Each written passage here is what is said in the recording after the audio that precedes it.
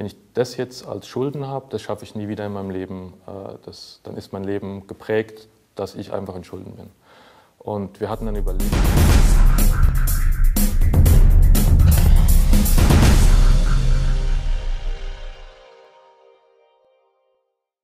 Also dann äh, noch ein, zwei Jahre später, ähm, diese, dieser ähm, Stromproduzent war eben Teil unserer Firma. Wir haben einfach gemerkt, okay, zum einen, wir müssen weiter wachsen, wir brauchen noch mehr äh, Mittel.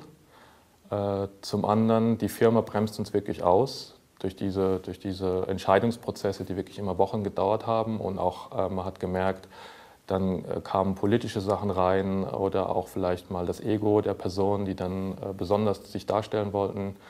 Ähm, es kam einfach eine andere Dynamik rein. Es waren nicht mehr diese jungen, enthusiastischen Studenten, sondern da kam jetzt wirklich die normale Businesswelt bei uns rein mit dem Risiko, zum einen von auf der Finanzseite, aber auch mit den Schwierigkeiten, die im normalen großen Business einfach doch bekannt sind. Ähm, wir haben dann einfach überlegt, wie geht es weiter? Können wir weiteres Geld aufnehmen? Können wir wirklich das Risiko auch, wollen wir das tragen privat?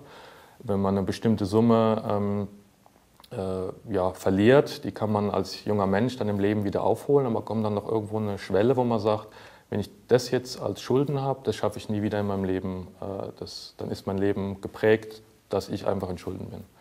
Und wir hatten dann überlegt, das war ja der Internetboom, die, es wurde von großen Firmen angefangen, kleine Firmen aufzukaufen, um einfach weiter zu wachsen und den Boom teilzunehmen. Und wir haben uns einfach überlegt und entschlossen dazu, wir wollen die Firma verkaufen.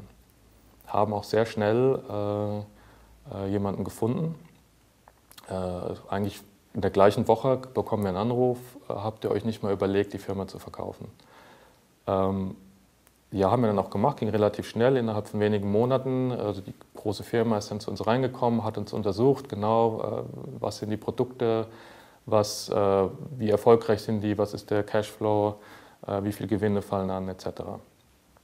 Wir wurden dann übernommen und dann schrittweise mit anderen vier Firmen zusammengeführt, sodass wir relativ schnell noch weiter gewachsen sind. Wir selber von unserer Firma sind in der Management-Ebene geblieben, ähm, weil wir doch ähm, durch unseren speziellen Mix von den, von den äh, Eigentümern äh, wohl die erfolgreichste waren. Äh, es war wohl so, dass alle Firmen, die sie aufgekauft haben, von Technikliebhabern gegründet worden sind. Aber zwei Kollegen von mir, die haben sich doch immer sehr auf, ähm, auf Marketing und, und Verkauf konzentriert. Das war so den ihr Febel und das war auch unser, unser ja, ein Teil unseres Gewinns, dass eben wir jemanden in der Firma hatten, der, der äh, ja, sich auf diese Richtung konzentriert hat. Ich kenne es von vielen anderen Firmen. Man macht sein Hobby zum Beruf, aber diese Komponenten Marketing, äh, Finances, also Finanzen und äh, Verkauf, Vertrieb, äh, die fehlen dann oft, sodass dann es immer in einer gewissen Ebene stecken bleibt. Äh, aber jetzt kommt eben die Erfahrung, wir sind auf einmal von heute auf morgen, innerhalb von wenigen Minuten, äh, wenigen äh, Monaten sind wir auf einmal von der Firma 20 Personen gewachsen auf 60, 250, am Schluss haben wir 250 äh, Angestellte in der Firma, auch über Deutschland verteilt.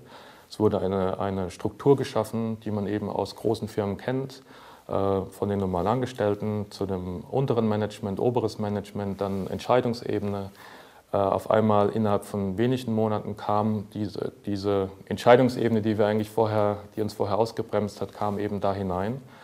Ähm, es kam auch ähm, ein Element mit rein, das sehr mit Angst gearbeitet hat.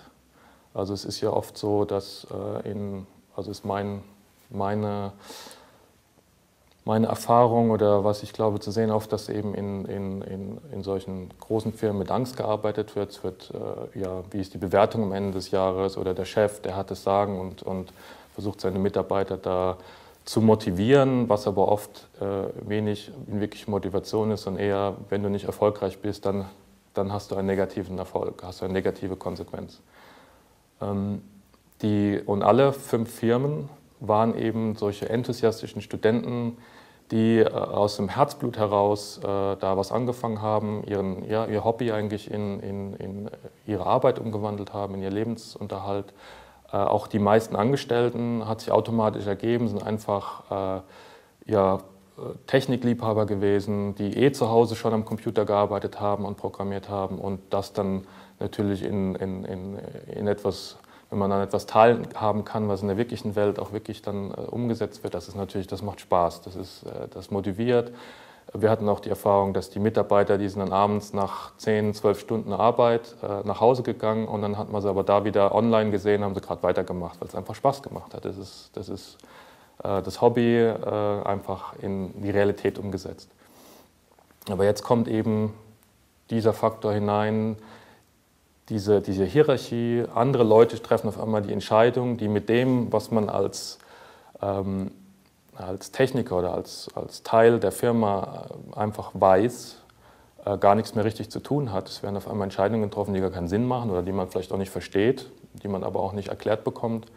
Äh, und dieser ganze Enthusiasmus, die ganze Energie, der ganze Spaß ist auf einmal verloren gegangen. Jede, alle waren frustriert. Ähm, äh, viele sind dann auch angefangen, haben angefangen zu kündigen und auch zu anderen Firmen zu gehen oder haben wieder was Kleines angefangen. Äh, und das war auch ein, auch ein Schlüsselmoment für mich.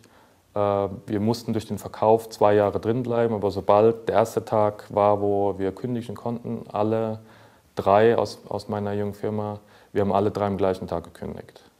Das äh, hat uns einfach, äh, jeder ein bisschen aus einer verschiedenen Sichtweise. Für mich war einfach klar, äh, ich wollte was anderes machen.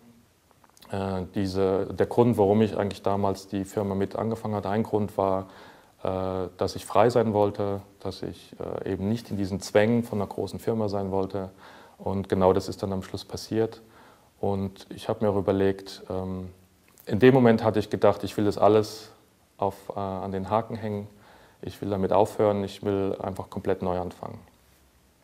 Und äh, bin dann äh, nach Indien gegangen. Für jetzt zehn Jahre war ich in Indien und äh, habe damals die Idee gehabt, ich will einfach Erleuchtung finden.